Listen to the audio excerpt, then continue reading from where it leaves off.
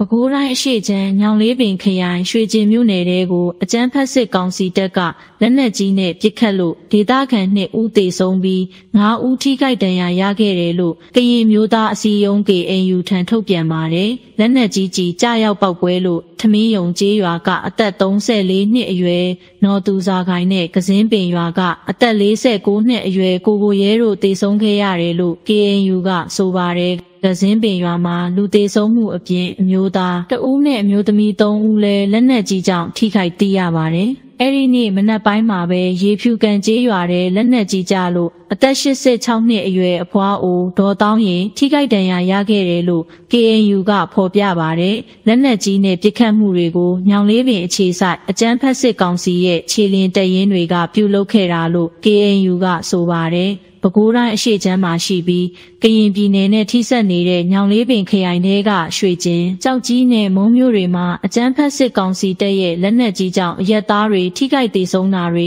မကြာခဏဆိုသလိုဖြစ်ပွားနေတာပါ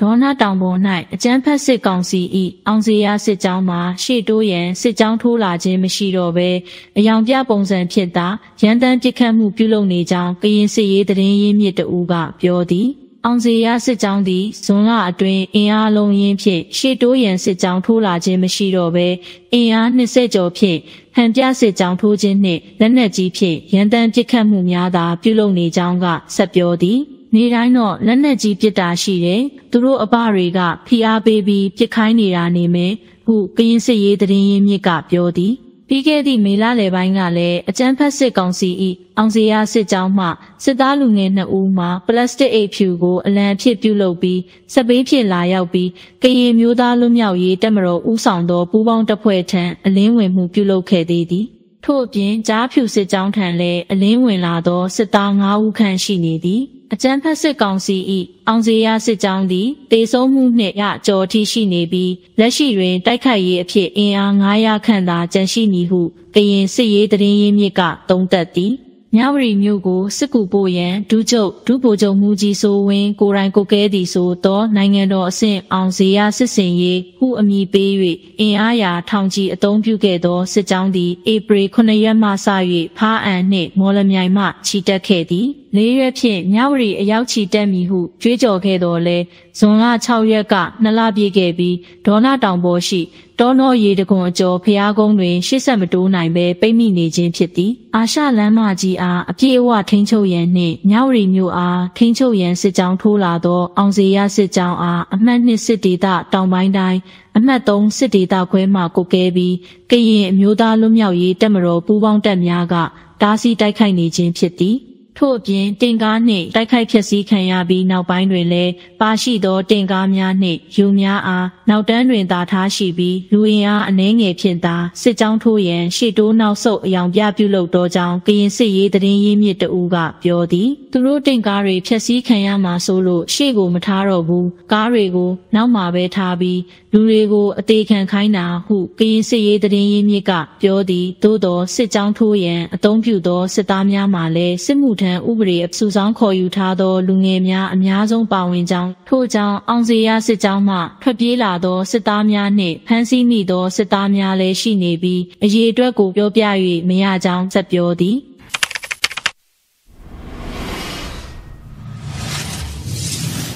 မြဝတီမြို့အခြားသောကော့ဂရိတ်ကျုံတူစသည့်တိုက်ပွဲဖြစ်ပွားရာနေရာဒေသများတွင်လည်းအင်တာနက်လိုင်းခတ်ခဲမှုများရှိနေပြီးဒေသခံများအနေဖြင့်လုပ်ငန်းအဆင်မပြေမှုများရှိနေကြောင်းပြောဆိုကြသည်အဆိုပါထိုင်းမြန်မာနယ်စပ်ဒေသတလျှောက်ရှိတရုတ်နိုင်ငံသားများနှင့်ဒေသတွင်လက်နက်ကင်အဖွဲ့အစည်းများပူးပေါင်းလှုပ်ဆောင်နေသည့်ကာစီနိုလောင်းကစားရုံများနှင့်အွန်လိုင်းငွေလိမ်လုပ်ငန်းများကိုပြစ်မှတ်ထား၍ထိုင်းအစိုးရဘက်ကဖုန်းလိုင်းအင်တာနက်လိုင်းအပြင်လျှက်စစ်မီပေးပို့မှုများကိုပါဖျက်တောက်ခြင်းများလှုပ်ဆောင်လာခြင်းဖြစ်သည်။အလားတူလျှက်စစ်တပ်အားဖြင့်ထိုင်းဘက်ချမ်းမှပေးထားသည့်အင်တာနက်လိုင်းများယခုလ23ရက်နေ့ကဖြစ်တောက်လိုက်ခြင်းကြောင့်အခက်အခဲများရင်ဆိုင်ကြုံတွေ့နေရသည်ဟုငွေလွှဲလောက်ကင်သူတဦးကပြောသည်မြို့ခံများထဲမှငွေလွှဲနှင့်ခရီးသည်ဝန်ဆောင်မှုပြုလုပ်နေသူများအနေဖြင့်ဆက်သွယ်ရေးလိုင်းပြတ်တောက်နေမှုကြောင့်လုပ်ငန်းများနှောင့်နှေးနေရပြီးလိုင်းရနိုင်သည့်နေရာတချို့နှင့်ထိုင်းနိုင်ငံမဲဆောက်ဘက်ကန်းသို့ကူးကာအလုပ်များကိုတွားရောက်လုပ်ကင်နေရသည်ဟု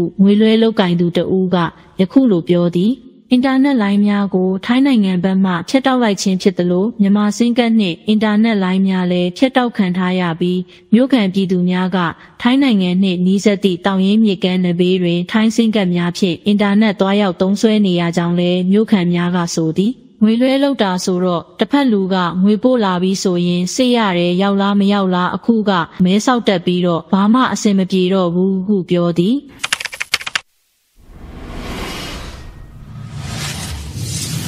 ကရင်ပြည်နယ်မြောက်ရီမြို့နယ်တဲကအကျန်းဖက်စစ်ကောင်စီရဲ့စုကလိချေကုတ်စခန်းကိုကရင်အမျိုးသားအစည်းအရုံးဦးဆောင်တဲ့ပူးပေါင်းတပ်တွေကသိမ်းယူလိုက်ပြီလို့ကရင်စစ်ရေးတရင်ရင်းမြစ်ထံကသိရပါတယ် ဇူကလီစစ်စင်ရေးခြေကုပ်စခန်းဟာမြောက်ရီမြို့တောင်ဘက်မှာရှိပြီးအင်အား90ဝန်းကျင်ရှိပါတယ်။ဒီနေ့တပ်မဟာ6နယ်မြေတဲကစုကလီစခန်းကိုအပိသက်ရှင်းလင်းသိမ်းပိုက်လိုက်ပြီးစခန်းကစခန်းကြီးကရင်စစ်ရေးတရင်ရင်းမြစ်ကပြောပါတယ်။တိုက်ခိုက်မှုမှာပါဝင်ညီညွတ်ရေးအစိုးရကာကွယ်ရေးဝန်ကြီးဌာနလက်အောက်ခံအထူးစစ်စင်ရေး စုကလီခြေကုပ်စခန်းကိုသိမ်းယူလိုက်နိုင်ပြီဆိုတာကိုသူတို့ရဲ့ Facebook ကနေဖော်ပြပါတယ်။စက္ကန့်ပိုင်းသာကြာမြင့်တဲ့ရုပ်တံဖိုင်တစ်ခုကိုအဖွဲ့ကထုတ်ပြရမှာစုကလီစခန်းကိုသိမ်းယူလိုက်ပြီဆိုတာကိုစခန်းမြင်ကွင်းနဲ့လက်နက်ခဲယမ်းပုံအချို့ကိုဖော်ပြထားတာတွေ့ရပါတယ်။စုကလီခြေကုပ်စခန်းဟာဒေါနာတောင်တန်းအရှိချမ်းရှိစုကလီမြို့မှာတည်ရှိသလိုထိုင်းမြန်မာနယ်စပ်လည်းနီးကပ်ပါတယ်။ ဇွန်လ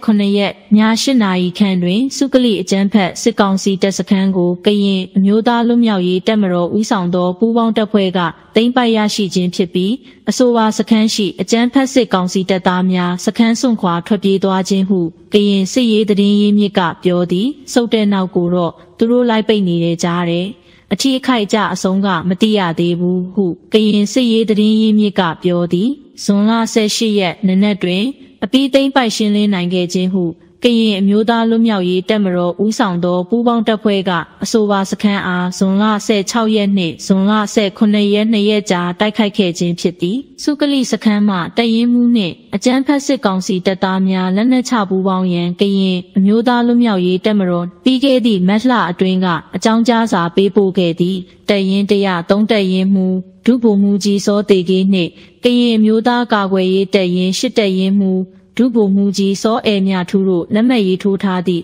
အဆိုပါအတိပေးစာတွင်စုကလိစခန်းရှိအကြမ်းဖက်စစ်ကောင်စီတပ်ဖွဲ့ဝင်များအနေဖြင့်တော်လန်ရေးပူးပေါင်းတပ်ဖွဲ့ဘက်မှတက်ရောက်တိုက်ခိုက်ခြင်းမပြုမီလက်နက်ချလာရောက်ပူးပေါင်းရန်အသက်အန္တရာယ်များကိုအာမခံပေးနိုင်သလိုပူးပေါင်းခြင်းမလုပ်ဆောင်ပါကစခန်းကိုရရှိအောင်တိုက်ခိုက်သွားမည်ဖြစ်ကြောင်းတတိပေးခဲ့သည်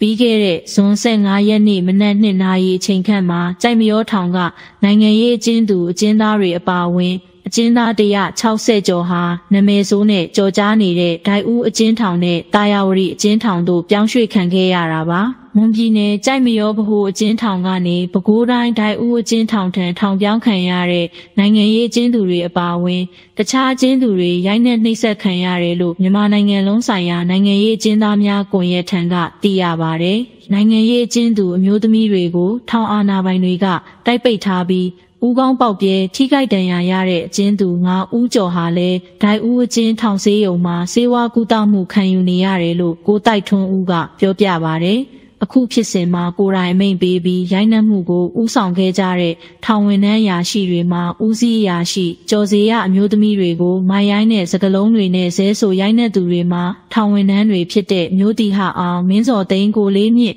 အဆောင်မှုတို့ဖြစ်အတိပေးထားပါတယ်အမျိုးသမီးချင်းသူတွေကိုအရှက်ရစေရန်ဆဲဆိုပြီးလူမဆန်စွာရိုက်နှက်ညှဉ်းပန်းနှိပ်စက်နေတဲ့အချင်းဦးစီးဝန်ထမ်းတွေကိုတော်လန်ရေးအင်အားစုတွေအနေနဲ့ဖမ်းဆီးပြီးထိရောက်တဲ့အပြစ်ပေးရေးယူမှုတွေပြုလုပ်ပေးဖို့ကတောင်းဆိုထားပါတယ်။ နိုင်ငံရေးအကျဉ်းသားများကူညီဆောက်ရှောက်ရေးအသင်းရဲ့ဒိုင်ဦးအကျဉ်းထောင်ပြောင်းရွှေ့ခံရတဲ့အကျဉ်းသူတွေပါလာတဲ့ပစ္စည်းတွေကိုရှာဖွေရေးလှုပ်ဆောင်ချိန်မှာကြိုက်မရောထောင်မှပါလာတဲ့အတုံးဆောင်တဲ့အစားအသောက်တွေကိုထောင်ဝင်နှန်းတွေကသိမ်းယူထားတဲ့အတွက်အကျဉ်းသူတွေမှပြန်ပေးဖို့တောင်းဆိုခဲ့တာဖြစ်ပါတယ်။နိုင်ငံရေးအကျဉ်းသူအမျိုးသမီးတွေကရိုက်နှက်ခံခဲ့ရတယ်။ရာဘာတုတ်တစ်သားတုတ်ကြကြိုးတွေကျင်ဆက်တွေနဲ့ပါရိုက်နှက်ခံရပါတယ်။ အမျိုးသမီး30ကျော်လောက်ကတော့ရိုက်နှက်ချင်းခံခဲ့ရပြီးကျန်တဲ့90ကျော်ကလည်းလေးခွမှန်ထားပြီးထိခိုက်ဒဏ်ရာတွေရခဲ့ကြတယ်။ပြင်းပြင်းထန်ထန်ထိခိုက်ဒဏ်ရာရခဲ့တဲ့သူ9ဦးကျော်လောက်ရှိခဲ့တယ်လို့ဆိုပါတယ်။အဲ့ဒီလိုအကျဉ်းထောင်အာဏာပိုင်တွေရဲ့ရိုက်နှက်မှုကြောင့်